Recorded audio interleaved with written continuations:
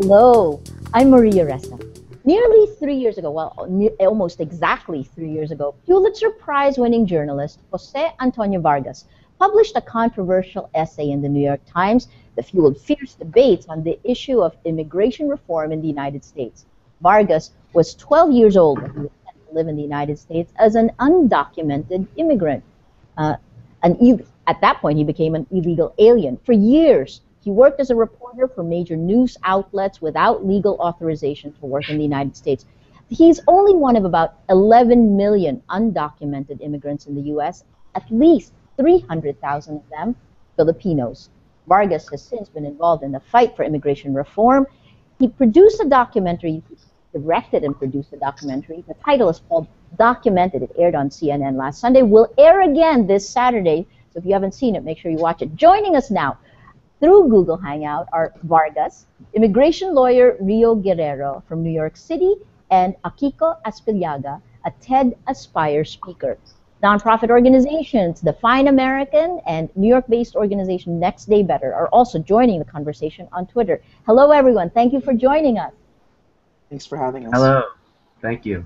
Jose, let's go to you right away. Pulitzer mm-hmm. Prize working as a journalist yeah. for a very long time. Um, what was the response to the documentary that you that you produced and directed?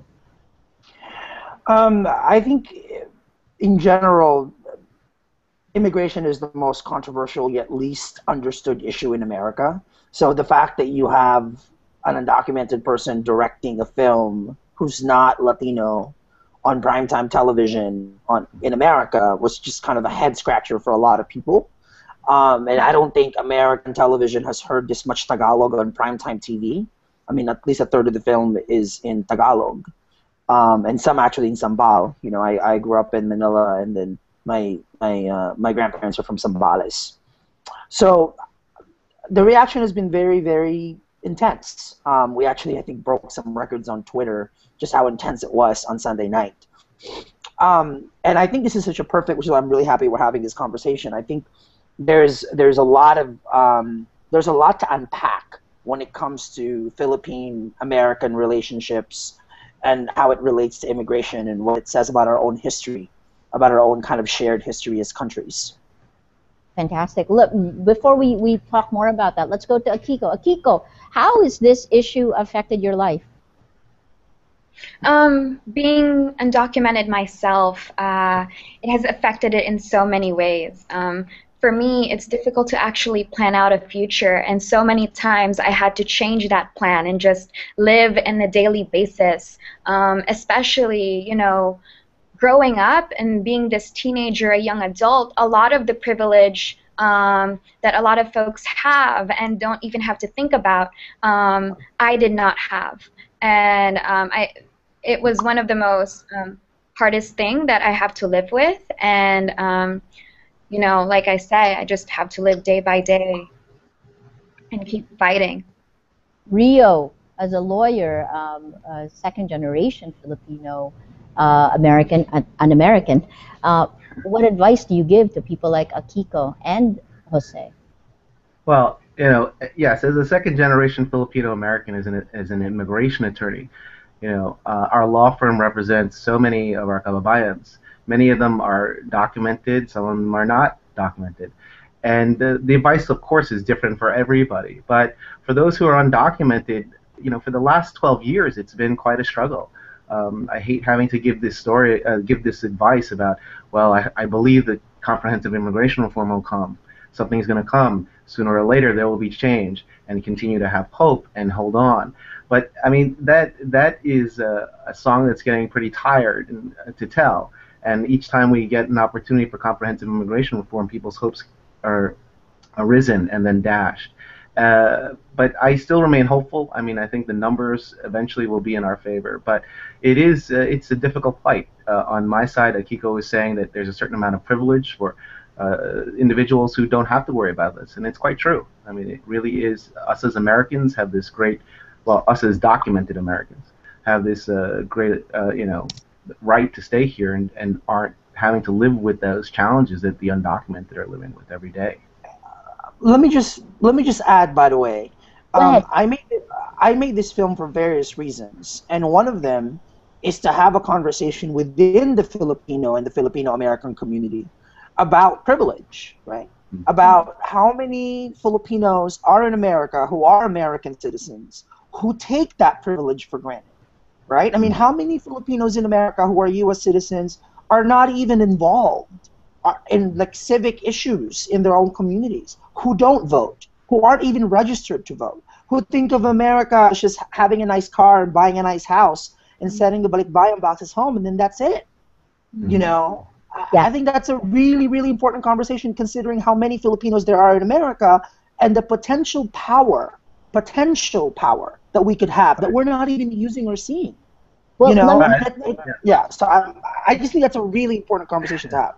Well, what about why should Filipinos? So you're talking to a, a, a large mm-hmm. Filipino audience now. I mean, why should Filipinos care about issues like this right now? Well, I mean, they wouldn't be here if it wasn't for immigration.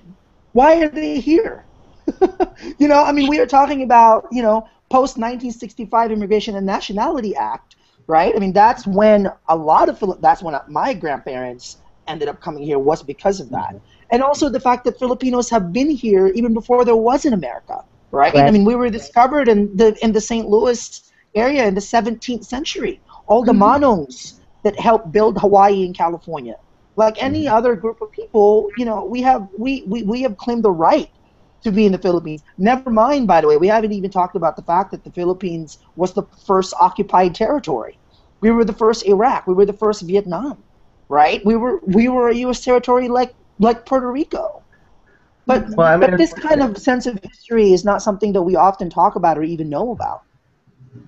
Yeah, and I think it's also it, it, it begs a discussion of how this it is to actually become a green card holder, alone become a citizen. We have the longest visa wait line when it comes to Asian countries. And not only that, like to actually come here with a visa, like my mother, um, working visa, we don't realize how easy it is to fall out of status because there's so many steps to take and there's not enough resources for immigrant communities such as ourselves. And there's a lot of false information that our parents um, follow through and we don't realize that, you know, the advice was false. Well, it's so interesting when, when you look at the stories, you, both of your stories have been on Rappler, and yet there were many comments that actually said, why don't you leave the United States and come back and do the legal things? In fact, it seemed like most Filipinos who actually had to, do, to go through a legal route, who were documented, are the ones who are most critical. How do you respond to these comments? Go ahead, Akiko. Go first. um, like, uh, actually, I think the question should be more: How can we stay in you know the legal way, right? Because my my mom came here with a working visa, and we tried to do it as much as possible by the book, and still we fell out with that alone, we can see how much there needs to be a change in immigration and its process. And there's Immigration Road um, created this chart, you know, to actually uh, how it is to go from point A to citizenship. And there's so many roadblocks, and like a misfile alone in DHS can be can you can have a deportation order just by that. Interesting. And and it's too, it's too difficult. Go ahead. Go ahead. Akiko, what, what, what, what were you going to say? I think she wanted to say something else. Oh, me? Sorry, oh, Akiko, go ahead. It was cutting. Oh, no. You were I, saying that your mom. I'm sorry, I couldn't hear that last part. So you were you were just saying at, at, how your reaction to some of these comments that are that are critical that say you should go through a legal route and if, if it's not documented that you should leave. Right. Um, as I was saying, uh, it's difficult to actually go there from point A to citizenship and um, just like actual experiences of it and all of the things that we need to unpack and unravel with, you know, legal terms itself. Like we don't even know what that means sometimes, you know? Okay. So well, difficulty of the process itself. Jose, for you, I mean, again, just on the same article, there were several of these types of comments. John Shin III said, Vargas will get deported back to the Philippines, and even President Obama can't and won't help him stay in the U.S. because he falsified documents to get a green card. This isn't the first time we've heard this. We've heard this from hardliners. I'm sure oh, you've heard it. Of course. And difficulties of telling your story. I mean, what? How do you react to this? Well, I mean, look, like the the the the level of ignorance and misinformation when it comes to this issue is downright oceanic. Right? It's probably as big and deep as the Pacific Ocean itself. And so I can't. I only. I engage with people who actually ask me serious questions. Clearly, that person that asked that question, like, it's not like I'm hiding. I'm, I'm right here talking to you. If they wanted to deport me, they've had three years to do that. And the fact that they're not doing that only speaks to kind of the double standards and speak to how broken the whole system is. And I'm sure Rio can talk about this as well. I mean, we have an issue here that our own community, our own Filipino American community that is that has benefited from immigration, that suffers from immigration. This is something we don't really talk about as deeply or intensely as we should. And I don't really know why that is. You know, it, it always, I mean, even within my own family, you know, I remember when I, you know, first told my Filipino family that I was going to do this, everybody was scared. Everybody was like, you can't, you can't tell the whole world that you're TNT. You're not supposed to say anything. So why you know? do you think there is such shame to this among the Filipino community? I think a lot of it too is we don't know our own history. I think there's mm-hmm. that. I think as a as as a culture, I think we've always had a very kind of you know let's adapt, let's assimilate. Let's kind of let's kind of just blend in, right? Um, there's that feeling of you don't want to rock the boat too much, right? I don't know, you know, we're we are a people of, you know, we come from Jose Rizal, right? I mean, I've, I've been studying the Filipino revolutionaries and what happened with the Spanish American mm-hmm. War and all of that. Like, that's where I come from. But for the most part, you know, we're too busy watching singing shows and television and celebrating celebrities. yeah. but we don't really want to talk about any serious issues. I will not. I'm sorry. This definitely true. You know, again, interesting. You've had your defenders come in uh, on Rappler. Um, someone, uh, this is. Bess Nibungco wrote, undocumented immigrants pay taxes like anyone else and contribute to the American economy in significant ways. They can't access any of the social services. Uh, they give and hardly receive anything. In reality, you're actually the one benefiting from them. This is someone engaging one of the people who attacked undocumented uh, immigrants. Lastly, why blame undocumented immigrants for the difficult immigration system in the U.S.? It's the U.S. government that created the long backlog arbitrary visa quotas. Rio, do you agree with this? Well, I mean, just to a few of the points that have been touched upon already. I mean, Jose's talking about uh, privilege and maybe a certain amount of hiya within our community. First, to say that you know when DACA came out in 2012, and the numbers since then, uh, you'll see that in the Asian community generally, and it's not just the Filipino community, in Asian general Asian communities generally in the United States, it's been a really low number turnout in, in DACA for Asian communities. And I think that goes across the board. So I think it is partly cultural. There's a certain amount of hiya in Asian culture with respect to applying for certain benefits and talking about certain things such as being undocumented. But there's certainly amount of, uh, of privilege out there from uh, Filipinos who I think, uh, you know, are not fully educated on the issues of immigration law. Uh, there are, uh, you know, potentially 4 million Filipinos who vote here in the United States. Uh, what I've seen, and I think in part why I, I am actually feeling great hope for our community, is that since the devastation of uh, Typhoon Haiyan, uh, we've seen a community nationally come together on that issue. And it gives me great hope that we can rally around the immigration issue. And, you know, there is, there is a responsibility, Filipino Americans, to give back to the generations that are here and the generations that will come after us because we were given the opportunity to come here to the United States and live our lives, whether you're done undocumented or documented. And and we have responsibility to our community. And I do believe that we're starting to see that flourish in the United States today. So we have a chance here if we ride this sort of wave of unity to maybe get some results, specifically on immigration law. Fantastic. For the three of you, you know, I, I, just returned from the United States, and it's so interesting when you talk immigration reform. It is such an emotional issue for Americans. Um, give an insight for Filipinos watching. Why is this so difficult? And, and in your words, Jose, so difficult to unpack. Why is it so emotional for Americans right now?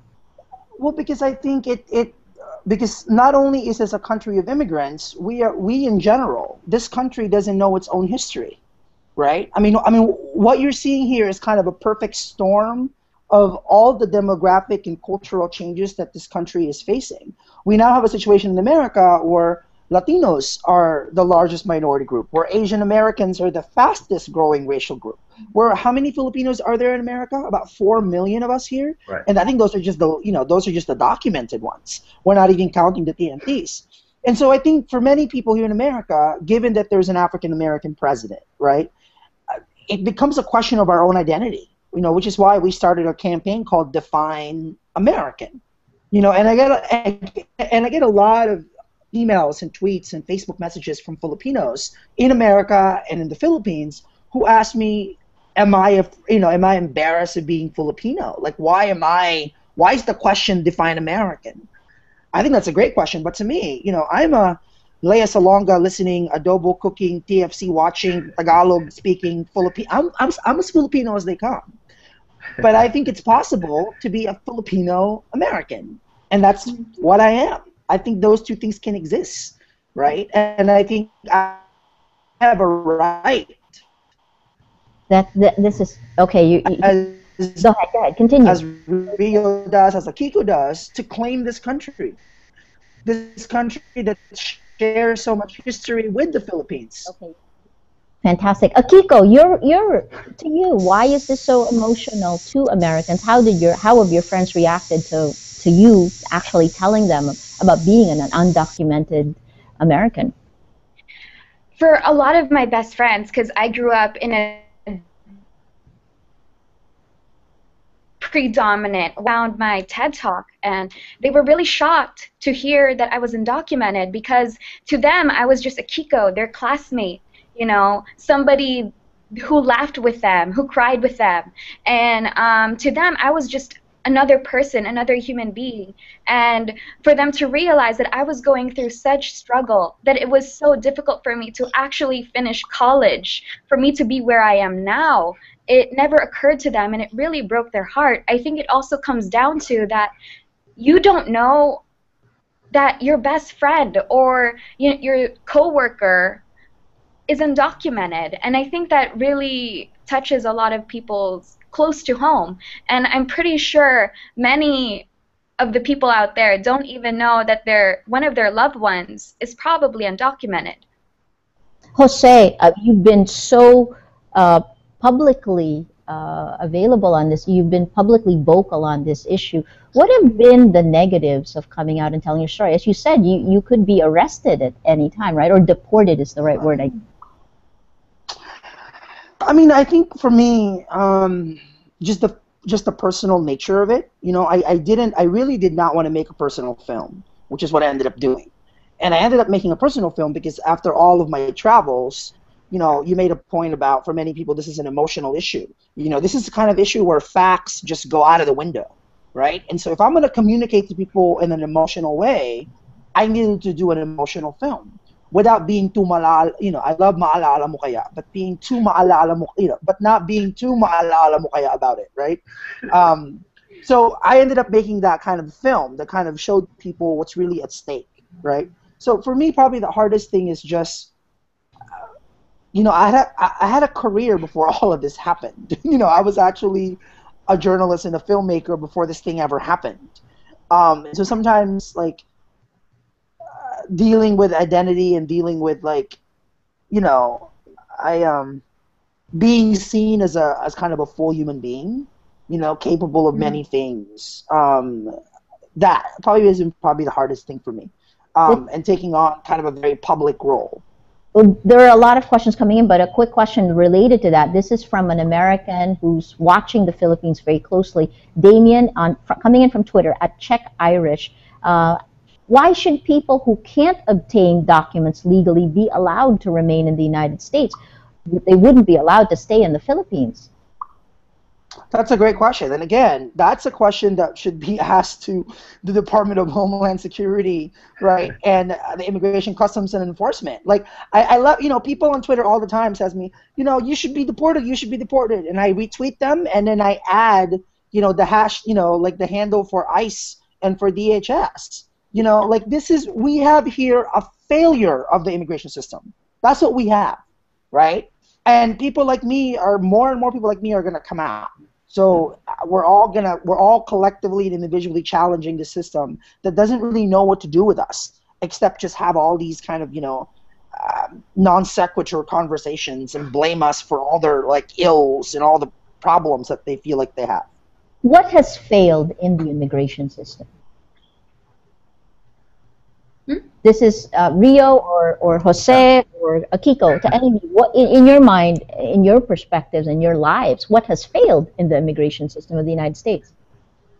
Well, I, I think uh, there obviously the immigration system and the immigration laws and procedures that uh, govern it uh, have become so complex, um, and and the breadth is so great that it's it's impossible for you to really pick out very succinctly what's failed. But there are certain things that are, are just obviously not working. There's a, a procedure where you enter the country lawfully, but then individuals are not leaving. Um, but then also there is a visa program where you know the individuals who want to come to the United States are waiting 10, 20, 30 years to come to the United States, and for no necessarily good reason, being treated differently by the United States.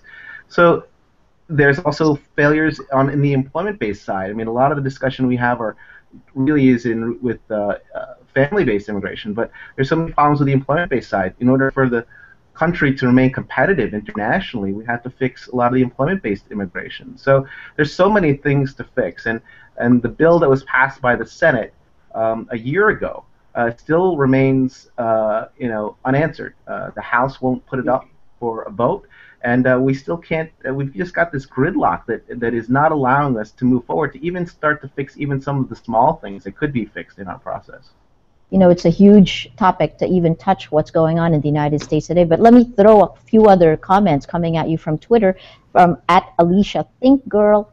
Hashtag documented moved me to become even more active in my own community. Thank you for your courage. This is for you, Jose um, at Caritas Dacas asks a question How do you restore your sense of agency? I think she means how do you move forward when you feel confined by your undocumented status? Akiko, why don't we start with you answering that question first? Oh, that's, you know, I ask myself that every day. How it's, it's really difficult. Um, like for me, I used to say that in spite of my undocumented status, I am still able to go to school. I'm able to tell my story. But I think it's more like because of my undocumented status, because the struggle is so real for me every day.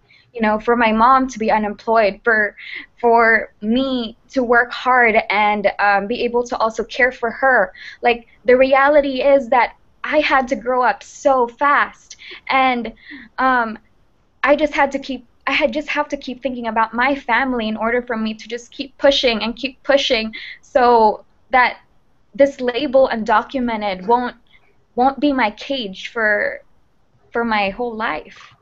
Do you know what your recourse is? I mean, can you take steps to actually move out of being an undocumented immigrant? Well, right now, I'm fortunate enough to be eligible for deferred action for childhood arrivals. So um, I do have my social security number now. I do have a California ID, um, and that's how I've been able to work to help my mom.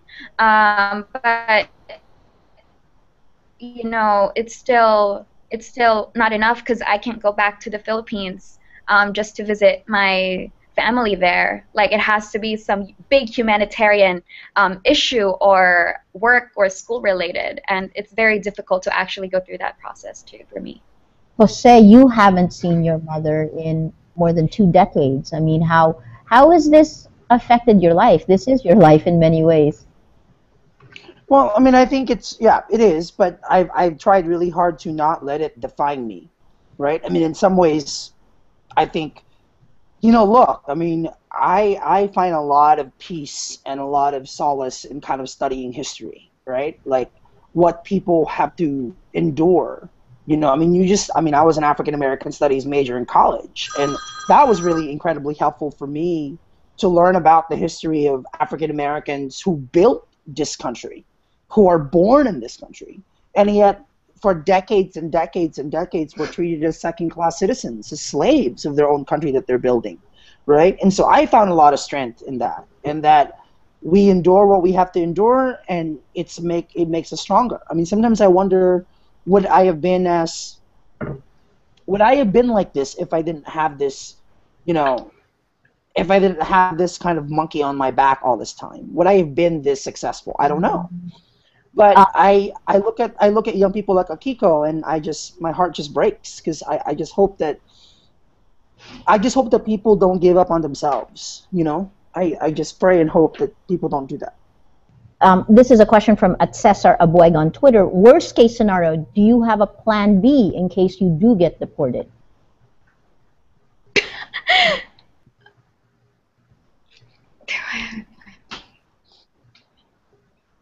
Um, for me, Plan B would be uh, I would go back to the Philippines, um, but the most difficult part is I don't know Tagalog that well. I mean, I can speak conversational Tagalog, but I can't read or write Tagalog, so it'll be very difficult for me to uh, go into, you know, employment. But um, for me, maybe, isn't it? Yeah. Huh? Go ahead, Akiko. I was saying how tied it is into identity, um, where you yeah. life. Yeah, exactly. And and so I just maybe um, find another country who will accept me just um, with all with my degree with all that i can offer with my skills and um, not just that but as my humanity you know um, for you jose what's your plan b my plan b um, hmm, you know, I've done everything that I've done with like, you know, with like my hands tied behind my back. Sometimes I wonder what would happen if when there are no limitations. You know, mm-hmm. when I can go wherever I want to go, like any free human being ought to be. You know, yeah. migration should be a human right. It mm. must be, and it always has been a human right.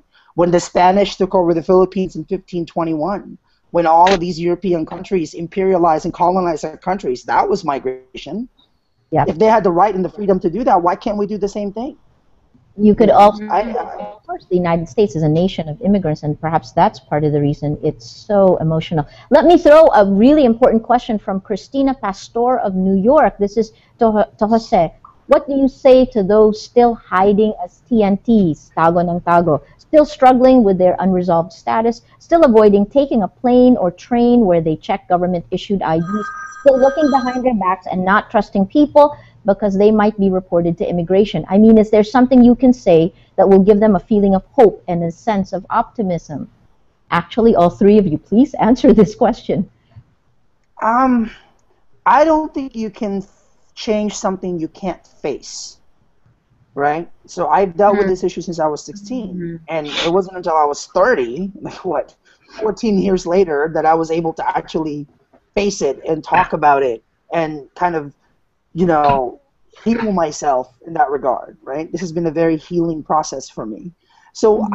I don't think you can change something you can't face. And so trying to face it in your own way, within your own, you know, comfort zone, right? Just talking to your own relatives about it. There's so much about Filipino culture in our own families that we don't talk about.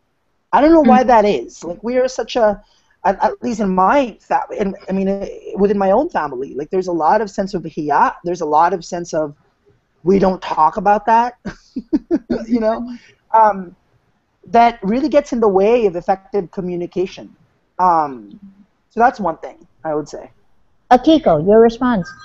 Yeah, um, I t- really agree with Ho- with Jose because um, for the longest time, I kept quiet and tried to deal with this myself. But it was when I reached out to people for help that I was able to finally be somewhat free of all of these burdens because you don't have to, cur- to carry all of your struggles by yourself. There are people there who will help you.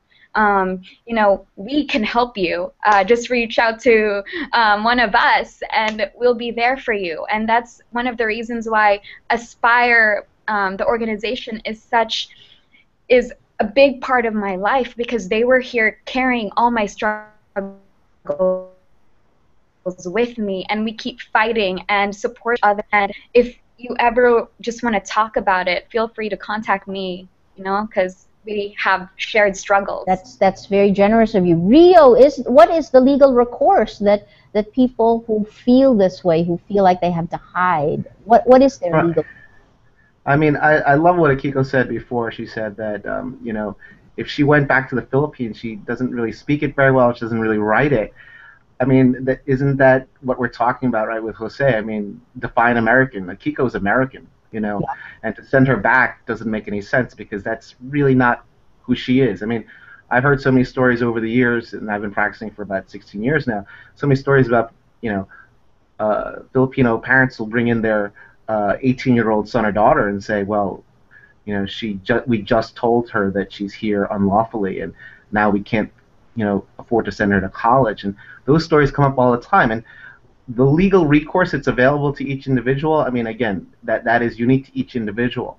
Um, but I, I would say that for those who are undocumented, you know, for those who have friends who are documented or relatives that are documented, uh, you know, you have an opportunity to talk about these stories uh, and get the issues out there, and then and and hopefully they can use their vote and they can use their voice on your behalf to get movement um, in the community, uh, locally, and, and then um, nationally uh, to politicians. Because I think that's the only way you're really going to see change. I mean, there needs to be an education, there needs to be a culture change on this issue across the country before you really see meaningful, comprehensive immigration reform.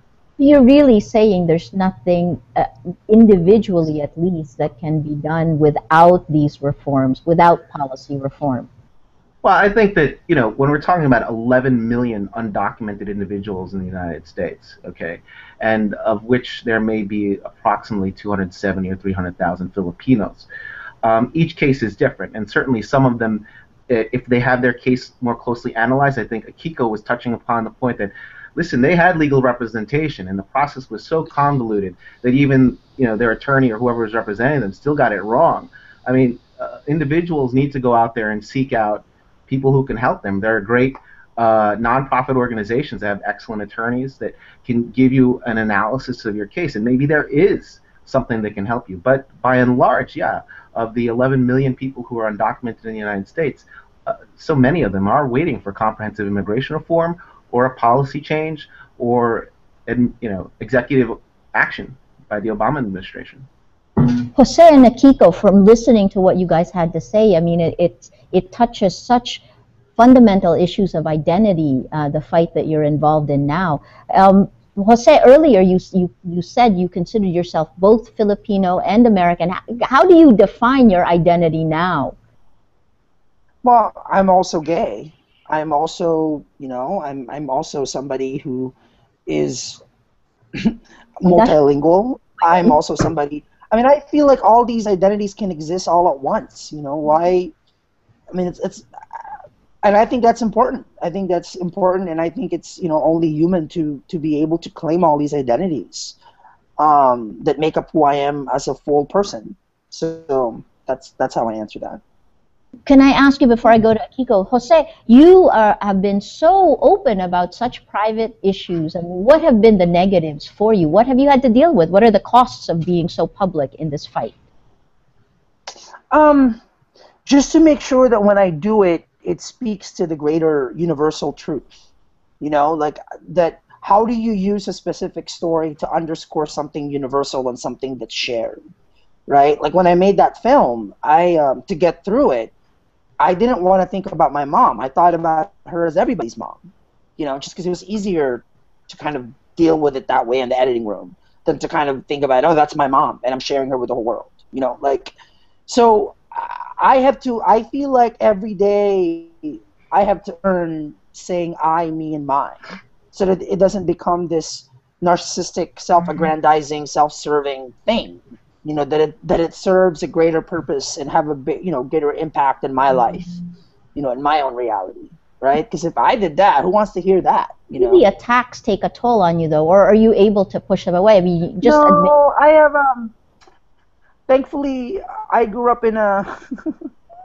I grew up in a in a in a in a kind of Filipino household where I was used to being teased, you know. So I have I have pretty thick skin. I have pretty thick skin, so I can I can handle this. Akiko, let's go to you. Uh, you know, again, fundamental issues of identity. It's interesting that you said that if you your plan B, if you were to go back, uh, you don't quite you wouldn't quite fit in the Philippines. How, how, do you define yourself now? You're younger than than Jose and myself. I mean, how do you how do you define these issues for yourself? Um, for the long, it was it wasn't until recently um, that I started being okay with just being who I am, just being me, and not to have to label myself as undocumented or um, have those sort of big labels be a huge part of my identity. Um, but I think I just it's just recently that I just started wanted to live as a person. You know, like I don't need to have all of these um, social constructions to confine who I am. Um, I think we are all beyond that, beyond beyond labels, and um, just to accept our whole being. And that's why I said earlier that, you know, worst comes to worst, I'm gonna find a place where I can just be human. Fantastic. Um, Jose, I want to go back to you. Earlier, I, I misused a term that, uh, that you actually campaigned against. I used the words illegal alien. Uh, when you first wrote your, your piece for the New York Times near, three years ago, this is something that you actually seem to really have pushed. I mean, what's the difference in words? Why stop using illegal alien and using undocumented immigrant? Well, I mean, first of all, it's more factual, right? Like um, being in this country without papers is actually a civil offense and not a criminal one. So there's that. Um, to be undocumented means not to have papers. it, it, means not to have a valid U.S. passport, a green card, or a driver's license. Like that's what it tangibly means.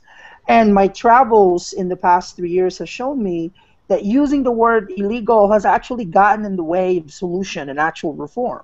How do you legalize people who are illegal? You don't. You call them illegal, end of conversation, right? You're illegal, end of conversation. Yep. And for me, what's been so tragic is hearing people use the, the, the word illegal and Mexican interchangeably, as if there's something wrong with being Mexican and as if all Mexicans are undocumented, as if all of Latin America is Mexico. So if you're not Mexican, it's really even more important that you yeah. speak out against it and that you call it out, right? Like language matters. I don't want to have to quote George Orwell about this, but language matters because it frames and contextualizes the conversation. So, so some of the other comments I've seen in, re- in reaction to this is that in many undocumented immigrants still requires lying that you lie to stay in the United States. How do you deal with with questions like that, and how do you put this together with your own sense of identity? Um, that was it was very important for me when I outed myself to be very intellectually honest about what I had to do, which is lie. You know, a lot of lawyers, people like Rio, not Rio specifically, but immigration lawyers advised me to not say that I lied on government forms, to not admit that I use a doctor social security card because that basically disbars me from any sort of relief, like an extraordinary ability visa or something like that. But if I'm going to do this in such a public way and I'm not honest about what I have to do, then why am I doing this? Mm-hmm. I feel like this issue lacks a certain kind of honesty, right? A, a more honest, more truthful conversation about what why people do what they do, right? Like if you were 16 and you were in my same shoes, what would you have done? Would you have worked? Right? Would you have gone to college? You know, I mean, for me, it's a question of empathy, right? Like I can't, I can't be kind of on a high horse. Like I lied. That's what I had to do. By the way, I'm, I am working really hard. I mean, a couple of weeks ago, someone on an airplane asked me. We were having a conversation about this issue, and And the gentleman was like, you know, I'm okay with making you a U.S. citizen if you think you've earned it. That was such an interesting question. Interesting. And so I said to him, have you earned it? Have you mm. earned your hmm. citizenship? And then he, he had, and then he said, no, but I was born here. Oh, so it's an accident of birth then. I mean, these are important questions to ask, right? And it yeah. gets again to the heart of privilege and to how self-aware people are. You know, I'm fighting for something that most people take for granted. Yeah. Right? That's what Akiko and I are fighting for. Even our own Filipinos in this country, um, which to me is a. Can you imagine if Filipino Americans were actually as civically involved as we should mm. be as a people? What kind of impact that would actually have? In- interesting. Uh, Akiko, you, I hear you speaking uh, and nodding. Um, uh, what are you thinking about what uh, Jose has just said? Um, the fact that it's so ironic, you know, that um, a lot of folks who can be civically engaged, who have voting power, aren't aren't being engaged, are not uh, politically um, empowered to do so. And it took it took me um, to actually be in this struggle, to be in this status, for me to do that, for me to aspire for change and work at it. So it's it really is very very ironic, and um, it it begs the question of what does it really mean? You know, what what what does citizenship mean? And I think it really comes to redefining that. I mean, but but but that was a question from the very beginning. You know, that's why it's called Define American. We didn't call it Define Immigrant. We've actually gotten some calls from people in in Britain that have been studying our campaign and want to start like a Define British campaign. Yeah. I would love to start a Define Filipino campaign. What does that really mean? What does being Filipino mean? What does being Filipino mean in the, a globalized 21st century in which we as a people, you know, we are we are among the most dynamic, most the warmest. I mean, I love the warmth of Filipinos. I miss know? it. There's kind of nothing like it. Um, but as a but as a people, like we have to collectively assert ourselves. oh, we lost her. So you've gone through a lot of things in the last three years. What do you want to happen, particularly after um, hashtag after documented? Well, I mean, I think at Define American, we're going to continue to insist on a more honest, more elevated conversation on this issue to take it out of this Latino border U.S. Mexico framework that that that that um that we've had it in, but also to to have you know I mean I'm prepared and I'm more than excited to have a deeper conversation among Filipinos around the world about the meaning of being Filipino. Um, and again, as somebody who's a journalist and a writer and a filmmaker, I feel like I'm in a unique position to kind of insist on these stories, you know, and to kind of contextualize this in a much better way. Uh, what does it mean? What for you when you say you want a deeper conversation about the meaning of being Filipino? What does that mean for you? For me, that means owning our own history. For me, that means claiming space. I think that for me, that means being being proud, but also being humble. To me, that means knowing that we have a responsibility to to our not only to our families and to our own betterment, but to kind of who who who would become as a people, right? I mean, it, it's a tragedy to me sometimes when I speak to my own nieces and nephews, like they don't know where they come from. You know, I'm two generations away from being a rice picker in Zambales, from being a fisherman or a rice picker. That that's you know, a, a, a, I mean, a farmer. That's what I was gonna be. You know, and to be grateful, right? I really feel that you find purpose when you find gratitude. And for me, that's where my work started, is when I mm-hmm. started kind of being grateful about what has happened to me and questioning and facing my own life. Fantastic. Akiko, for you, what do you want to happen? Um, you know, just going back to what Jose was saying, I really think education within our community and, you know, talking about immigration in such a deeper manner will really help us you know define what it means to be a person and why we exclude other people from uh, other rights that we should have you know? Um, and also, just this week, Obama recently talked about executive action and immigration reform, and it sounded so heavy on enforcement. Like we need to talk about how can we expand deferred action to include also, you know, folks who just aren't, you know, the young adults. How can we include more people um, to have some kind of relief while um, while the Congress figures out what they're going to do with comprehensive immigration reform. And Rio, we come to you. I mean, in some ways, that's a question right from Akiko. Um, what do you want to happen? Well, I'd say specifically, we do want to see an expansion of uh, deferred action, certainly. Uh, hopefully, it would expand not just to uh, well, it would expand to the at least the immediate relatives of those individuals who who have deferred action right now. I'd say uh, there's other things that can be done. Yes, the enforcement side, uh, administratively closing certain uh, deportation cases. You know, the Obama administration does have the op- does have the power to you know sort of um, close the spigot on deportations or at least you know lessen the flow.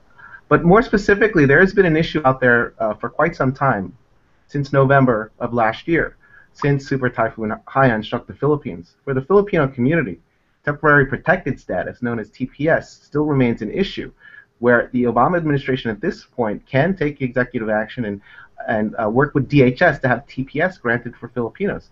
That would affect all 300,000 or so undocumented Filipinos in the United States today, as well as maybe another 200,000 who are documented, and grant them work authorization and protection from deportation. That still sits on the table or on the desk of Jeh Johnson at the Department of Homeland Security. Today, Obama, well, yesterday, Obama said that he wants to exhaust all options or investigate all options that he could bring to bear on this issue. Well, that's something that the Filipino community here, we're talking about uniting the community moving forward, we can push that issue. And if we're successful, we can bring relief to Jose and Akiko and all of the undocumented here, at least temporary relief. And so that's what I would like to see. I would like to see Filipino Americans get energized, seek out their politicians, and push this issue forward. Fantastic. I'm going to just ask you, we're near the tail end. I want to ask you for your last thoughts on this, but this is a fascinating discussion on how you found your voice define are in the process of defining identity, how that leads to policy and nationhood. I mean, it's it's all encapsulated in you. I'm I'm really looking forward, Jose, to seeing your documentary this Saturday. So let's start with Rio, I guess. Your last thoughts. We'll go Rio, Akiko, and then we'll end with you, Jose. Rio, your last thoughts on this. I mean, you talked about now the policy that you want to to pursue, that you want to push, that can give um, short-term relief to people like Akiko and, and uh, Jose. But uh, your last thoughts encapsulate this very huge issue that is both visceral and policy and policy driven. I mean, I, I live with this issue uh, in many ways. Obviously, personally, as a second generation Filipino American, I wouldn't be here today if my parents hadn't immigrated. As an immigration attorney, I represent Filipinos and non Filipinos every day on their immigration issues, and I see all sorts of different things on this undocumented issue, 11 million people undocumented in the United States, I still hold hope. I do. I believe that this country will get it right, that it will again remember that the country is built on immigrants, and that the only way we will go forward, the only way we will do right by the, the mission of this country, the only way we'll do right by the people who are here today, documented and undocumented, is to fix this immigration situation and I think it will happen. I don't know when it will, but my hope is still there. there. It's been too long. It's been over a dozen years since we've seen comprehensive immigration reform. Sooner or later, the levee will break, and there will be change. I cross my fingers for your optimism. Akiko, for you, your last thoughts on this complex and, and very um, visceral issue. Um, I think immigration is a world issue. And before we actually, you know, um, while we tackle immigration reform, I think we also need to address the root causes of why we move, why people move, um, and also to stop thinking about it as a policy, but thinking about it as um, being human and what does that mean for each and every one of us? Is it right to send back, you know, the Central American children all the way back to their homelands where there's so many things going on is that, you know, what we hold a lot of values. And um, I think it's also up to us to start acting with those values in mind and start thinking critically and being more, you know, politically active and more um, informed about world issues that is affecting us. Fantastic. Thank you. And Jose, the man who kicked it all off, started it off, and gave a Filipino voice to this issue in the United States and globally. Your last thoughts? Well, I, I hate to plug the film, but the film is also going to re-air again on Saturday at uh, 9 p.m. Eastern Time, 6 p.m. Pacific Time. Um, I have to say that I'm really proud that the film is as Filipino as it is. You see lumpia, you see my family, you hear Tagalog. It's as Filipino as it can possibly be, um, and I'm really proud of that. Um, also, you know, please follow the conversation. We have a use hashtag documented I'll be live tweeting the conversation and the broadcast. If you have any questions, please ask me. Um, and I'm really grateful um, to my team, the Define American team. We actually have a Filipina American on our team, Maria Cruz Lee, who's our director of engagement and communications, and she made sure that this, you know, that this happened. So please, you know, follow her on Twitter. She's phenomenal. Fantastic. Okay, it has been an amazing conversation uh, talking to the three of you. Uh, we've been talking to Jose Antonio Vargas, Rio Guerrero, and Akiko Aspillaga about very personal issues of that they the fights they've been going through, fight for identity, uh, and uh, immigration policy, immigration reform in the United States. Uh, it hits us here in the Philippines. Join the conversation. I'm Maria Ressa. Thank you for joining us. Thank you. Thank you. Thank you. Thank you.